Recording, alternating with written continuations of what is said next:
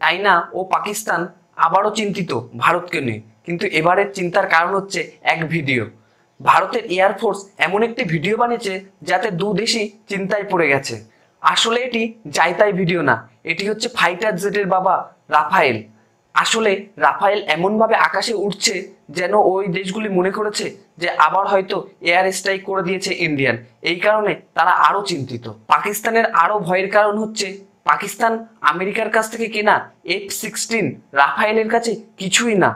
আপনার ইন্ডিয়ান এয়ারফোর্সের এই ভিডিও কেমন লাগল? প্লিজ কমেন্ট সেকশনে জানান